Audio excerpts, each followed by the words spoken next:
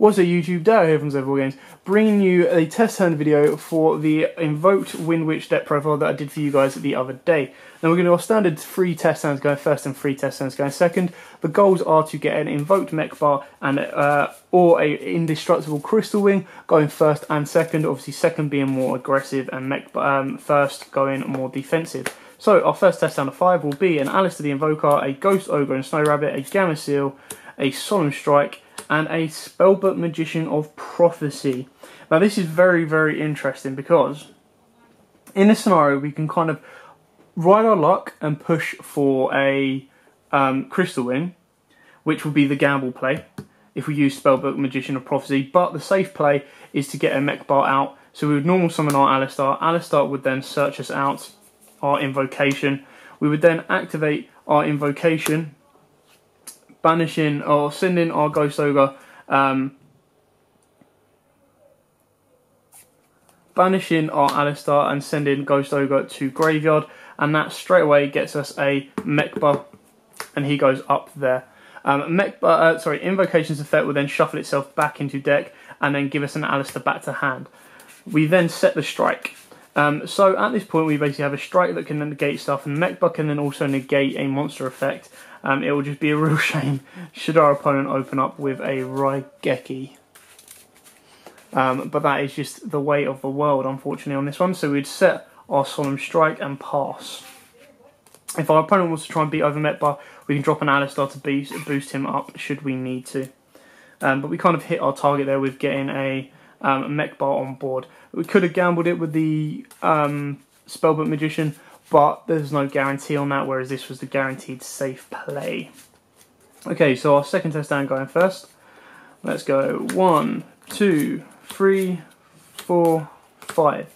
Okay, now this is a bit more of a safer play if we use our Spellbook of Knowledge because we then send our Spellbook Magician of Prophecy to the graveyard to draw two, and straight away we go into a Magical Meltdown, which gives us, we have the ability to go into a Purgatrio, but, like I've said before, um, we can pretty much go into whatever we want because we have the Book of the Law.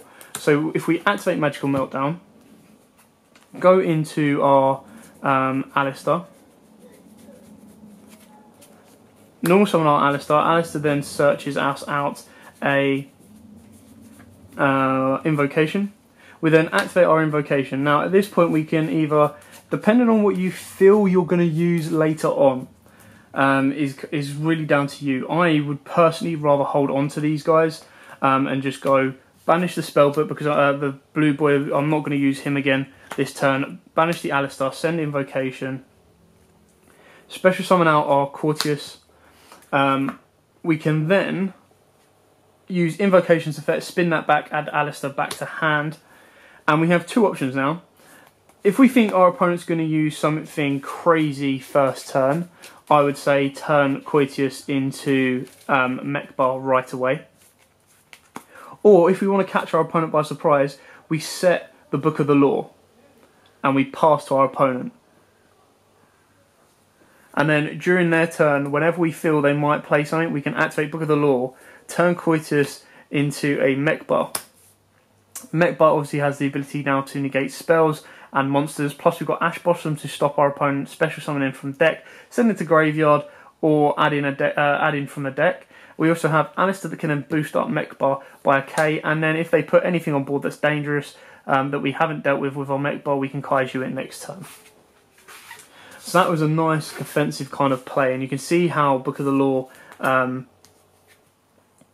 can be helpful in this deck, um, purely because in a scenario where you go, oh, I can't make a and I can't make a Raidjin, Book of the Law kind of, as long as you can make an invoked monster, um, allows you to step that up a bit. Anyway, let's do our final test hand going first and see what we can get. One, two, three, four, five. Actually quite nice on that one. Um, because what we could do is we'll terraform into deck thin and go into think there, think. Uh, go into our magical meltdown. We'll activate our magical meltdown again to deck thin and search ourselves out an Aleister. Now, we have two options here. We can normal summon our Aleister to search out our invocation again, deck thin in that little bit more. or we can normal summon our Wind Witch Glass Bell. That is entirely up to us how we want to do this. Now, the worst case scenario is our draw play um, spirals us out. Anyway, let's go with the normal summon of the Aleister to deck thin a little bit more to search our invocation. Now, what we don't want to happen from our spellbook is to draw into the second Glass Bell. Um, if you draw into the Ice Bell, it's not the end of the world. Uh, snowbell, sorry. If you draw into the snowbell, it's not the end of the world because we can still special summon it from hand, but it minimises our deck thin abilities. So let's shuffle this up good. Then we'll activate our Spellbook of Knowledge, send in Aleister to Graveyard and draw in two. Spellbook of Secrets and a Ghost Ogre. So that's actually helped us out quite nicely. Um, we'll activate the Spellbook of Secrets to deck thin a little bit more. You can go into Bluebell or you can go into another Knowledge for next turn. It's entirely up to you which one you want to do. This is pure just deck thinning options. You can hold on to the Spellbook of Secrets so you have both options. Um, and now it's kind of down to us. We have a Mechaba play, or we have an indestructible crystal wing play. So it's entirely up to you which one you want to go with. Um, the crystal wing play kind of negs our opponent a little bit more because we would special summon the Ice Bell um, and then just kind of go off from here. So Ice Bell would then special summon our Glass Bell. Effect, effect. One would burn, one would search. Um, special summon snowbell to control two winds. Sync up our Wind Witch Glass Bell and Ice Bell into. Where are you? Our Wind Witch Winter Bell. Winter Bell then targets um, Glass Bell Engraved, burning our opponent for another 800 life points or further 800 life points. Sync these up into a indestructible crystal wing. Um, we then have the ability to set our Twin Twister and hold on to the rest. Now, if we went with Mechaba, he had the ability to negate monsters and spells. With this one, we've kind of got a Twin Twister to clear any back row our opponent might go because you can pitch this ghost uh, Glass Bell should you need to. Um, pitch your Ghost Ogre um, and go from there. So you kind of have enough stop in play as well. It's just entirely up to you on how you wanted to play that. Like I said, Indestructible Crystal Wing or Mechaba were both at our disposal from that. Okay, so now let's be aggressive. Let's see how much damage we can do to our opponent's life point, shall we? And see how much difference that extra card makes. Oh, hello.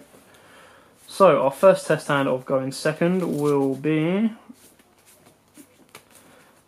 one, two, three, four, five, six. Now you have two options here. I personally would say because that was in our open hand, I would have used that. I would like to think I would have used that. If I didn't use it, then there obviously there would have been a reason for it. But I'd like to think I've played Ash to kind of slow my opponent down. Uh, we'll activate Terraform into deck thin. And while we're at it, we'll also activate Spellbook of Secrets to deck thin that a little bit more. So we'll get ourselves a Magical Meltdown, we'll get ourselves a Spellbook of Knowledge, um, we'll activate one Magical Meltdown and that will search us out an Aleister.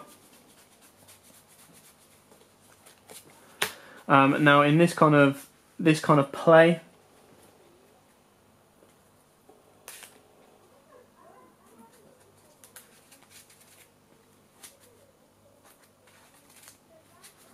in this kind of play, you can. Um, sorry, brain went numb there. um, you can activate Spellbook of Knowledge and get rid of Magician Prophecy from your hand, or you can hold on to him because he can, might be quite useful next turn should you need it. So my personal opinion would be, I don't know why I'm shuffling, normal summon Aleister the Invoker, um, search out an invocation, activate your spellbook, uh, spellbook of knowledge, pitching Aleister, I'm not pitching, sorry, but getting rid of Aleister from field and plus in two. Now we've already used the Spellbook of Secrets this turn, so that's a dead card waiting to be used. So is the blue bell because we've used our normal summon. Magical Meltdown is also a dead card right now. Um, your Ghost Ogre can be quite helpful should your opponent want to try and activate anything during your turn. Um, if they do, you go into a Mechaba. But to be more aggressive, the fact that we're going all out here, I think our stronger play is to Invocation, banish our Ash Blossom, banish our Invoker, go into our Purgatrio. Depending on how many monsters our opponents got on the board, Purgatrio is going to be getting quite a nice boost. Activate Invocation, sending that back and adding Invo uh, Invoker back to hand. We now have, if we have the, if we want to, depending on what type of boost this has got as well, we can then drop an extra 2k on top of Purgatrio. Now this is just being aggressive, this is just to do as much damage as we can. I'm not saying always do that, um, but then obviously next turn we do have the abilities to extend a little bit further because our Magical Meltdown will search us out and Aleister, um, which then leads into an invocation should they clear Purgatrio off. We also have Spellbook of Secrets that can then pitch Spellbook Magician to get a double draw, not to mention Ghost Ogre to interrupt our opponent as well. So it does have a lot of disruption and a lot of um, sustainability, which is really, really nice in a deck.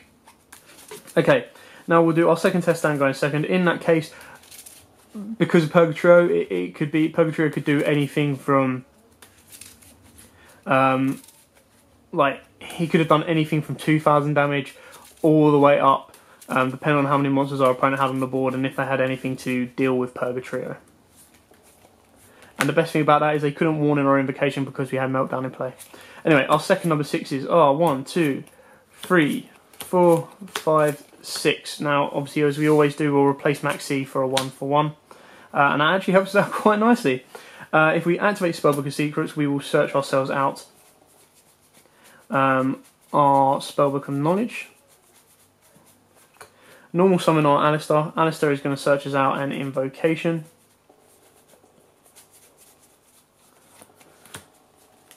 We actually have quite a strong play here.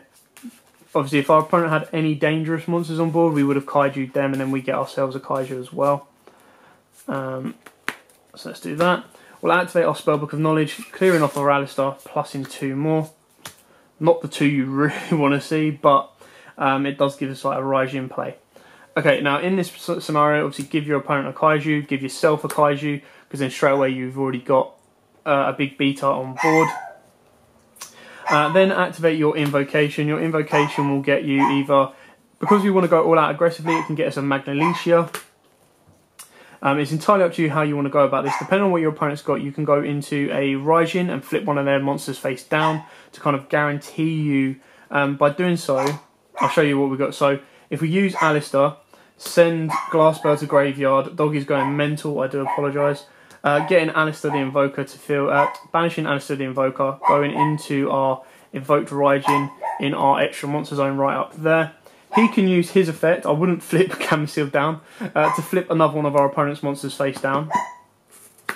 Um, and then what you can do is you can activate Book of the Law, not right now, but you go into battle phase, Raidjin can clear off a monster if you want it to. Uh, Kumongous could then clear off your Gameciel. Then you activate Book of the Law, turn in Raidjin, into pretty much anything you want. You can turn him into a Magnalecia, you could turn him into a Purgatrio. Now, I would go Purgatrio because with our Raidjin we flipped a monster face down. See, I forgot to do uh, Invocation, but you would send that back and add Aleister back to hand. Um, because we flipped a monster face down, we already we've guaranteed there's going to be a monster in defense mode with uh, Purgatrio. You can then attack with Purgatrio, dump in Aleister, and doing piercing damage. Plus, obviously, Purgatrio then gets the boost from being attack, being able to attack on monsters. Um, so it kind of gives you a, a, good good amount of options right there um, to kind of extend your plays and go from there. Okay, so let's do our final test hand going um, second. That one wasn't too bad, obviously, because you had the Gamma, uh, you had the Kaiju on board as well. So you had a 2400 beta, and then you turned your Raidjin, used Raidjin's effect, turned that up a level. Um, you could have gone into Mechaba for a bit more protection. It's entirely up to you where you make that transformation or how you make that transformation. Um, one, two, three, four, five, six. Okay, well, I'm straight away going to use Spellbook of Secrets to deck thin.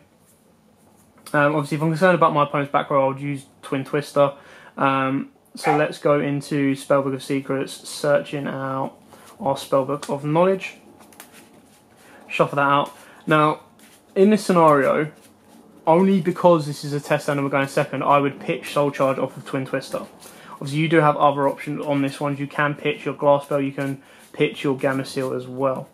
The reason um, I won't be doing any of that, so actually, let's let's go straight off first. Let's use Knowledge and Magician. Let's see what our plus two is going to be. A Book of the Law and an Aleister would be amazing. Magical Meltdown, that's our Aleister. Okay, so in this scenario, it's entirely up to you how you go from here. Um, if you activate your Twin Twister, Now, in the actual game, I'd probably hold on to Soul Charge because I know I'm not going to kill my opponent this turn. Um, so it's entirely up to you how you want to go with it. If you pitch your Glass Bell, you've got a, a nice easy Raidjin. Whatever you pitch, you're doing dealing with back row. Because then that stops your opponent MST and our Magical Meltdown, or striking our, Evo- uh, our Aleister when we normal summon Aleister. Aleister such that our invocation. Obviously, if your opponent's got like a Masterpiece or a Dryden or anything that you think will disrupt that, you would have Gamma Sealed them as well. So that's entirely up to you. Um, activate invocation, turn Aleister, um, and then depending on what our opponent's got as well, we can abuse that ability too, especially if we've Gamma Sealed them as well. Um, again, it's entirely up to you. I would go for the Wind Witch play, turning him into a Raidjin, spin invocation back to deck, add Aleister back to hand.